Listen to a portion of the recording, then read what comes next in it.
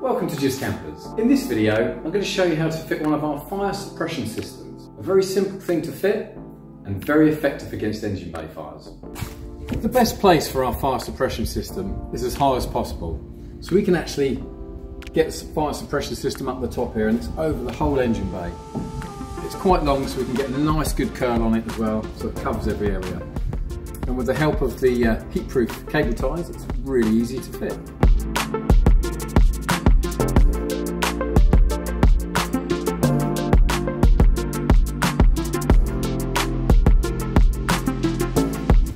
Very simple item to fit, offers a great level of protection.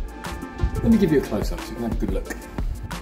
There you go, as you can see it's as high as possible in the engine bay. With those handy cable ties it makes it a very simple job. For more how-to videos, follow us on YouTube, Facebook, Instagram or visit us at justkampers.com.